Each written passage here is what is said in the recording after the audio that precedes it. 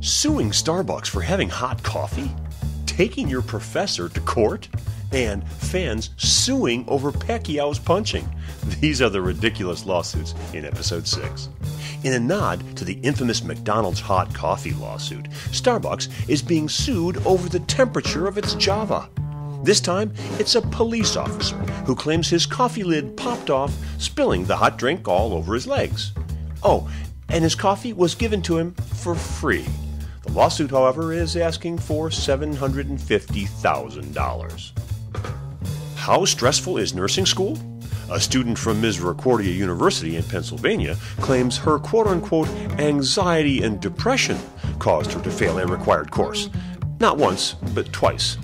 The student's lawsuit claims her instructors failed to accommodate her disability. And it was the fight of the century.